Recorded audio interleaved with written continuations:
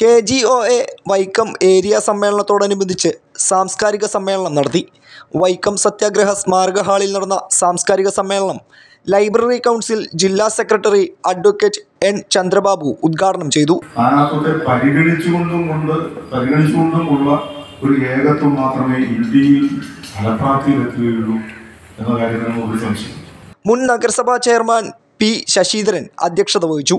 K G O A area secretary B Jayashankar P V Pushkaran V K Vipinan K K Sasikumar T Rajesh തുടങ്ങിയവർ പ്രസംഗിച്ചു. രാവിലെ നടന്ന പ്രതിനിധി സമ്മേളനം സംസ്ഥാന കമ്മിറ്റി അംഗം കെ എസ് സുരേഷ് കുമാർ ഉദ്ഘാടനം ചെയ്തു. തുടർന്ന് പുതിയ ഭാരവാഹികളെയും തെരഞ്ഞെടുത്തു.